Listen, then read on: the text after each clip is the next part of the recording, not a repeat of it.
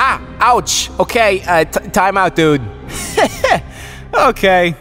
Wait, it's awfully quiet. Yeah, why isn't Venus telling us we're acting like reckless idiots? Is Venus actually gone? Have you guys never noticed that before? He's on orbit behind the sun like every year and a half.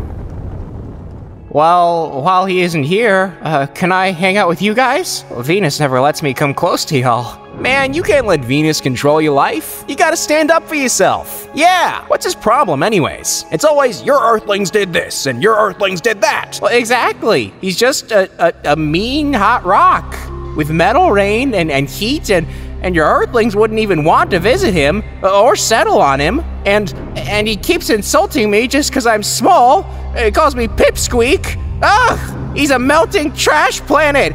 Why would I care wh- what he uh, thinks about. Get back to your orbit, Pipsqueak! Y- yes, Mr. Venus, sir! Hey!